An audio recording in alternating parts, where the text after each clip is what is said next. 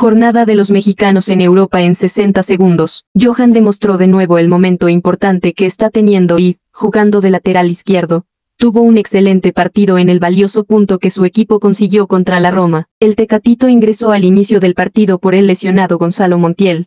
Tuvo un buen partido, regateó y se mostró participativo, pero no pudo marcar diferencia para romper el 0 a 0 en el marcador. Andrés Guardado fue titular y jugó 59 minutos en la derrota contra el Villarreal. Su equipo sigue tercero. Omar Gobea en el Sulte Baregem volvió a tener actividad. Jugó 63 minutos. Raúl Jiménez tuvo 26 minutos de juego, pero no pudo evitar la eliminación de su equipo en la FA Cup. Jugó los 90 minutos, acertó el 93% de sus pases y fue amonestado al principio del partido. Héctor Herrera ingresó cuando su equipo ya perdía contra el Barcelona por 4 a 2. Herrera nada pudo hacer para cambiar el curso del partido. Néstor Araujo entró en el último minuto durante la victoria de su equipo. Eric Gutiérrez no tuvo minutos en la derrota de su equipo. El Chuquino fue tomado en cuenta, debido a la lesión que sufrió en el México contra Panamá. Orbelín se quedó de nuevo en la banca con el Celta de Vigo y seguimos esperando su debut en la Liga Española. Gerardo Arteaga se quedó en la banca durante el triunfo de su equipo. Diego Lainez se quedó en la banca durante el partido.